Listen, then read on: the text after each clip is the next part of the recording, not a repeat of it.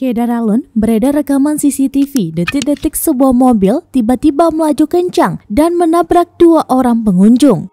Rekaman itu beredar luas di media sosial maupun WhatsApp grup pada Minggu 19 Juni 2022. Dalam rekaman awalnya mobil berwarna merah berjalan pelan. Tiba-tiba mobil melaju kencang tak terkendali dan langsung menabrak yang ada di depannya. Tidak sampai di situ, mobil tersebut terus berjalan sampai menabrak tiang bangunan dan dua orang pengunjung yang sedang duduk. Melihat peristiwa tersebut, tiga orang pengunjung lainnya langsung datang menolong. Sang supir terlihat syok saat keluar dari mobil.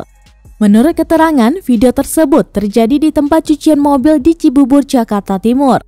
Terlihat mobil merah tersebut ringsek di bagian depan. Beruntung tidak ada korban jiwa dalam peristiwa tersebut.